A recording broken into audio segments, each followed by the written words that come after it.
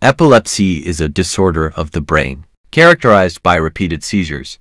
A seizure is usually defined as a sudden alteration of behavior due to a temporary change in the electrical functioning of the brain. Normally, the brain continuously generates tiny electrical impulses in an orderly pattern. There are many possible causes of epilepsy, including an imbalance of nerve signaling chemicals called neurotransmitters, tumors, strokes, and brain damage from illness or injury, or some combination of these. In the majority of cases, there may be no detectable cause for epilepsy,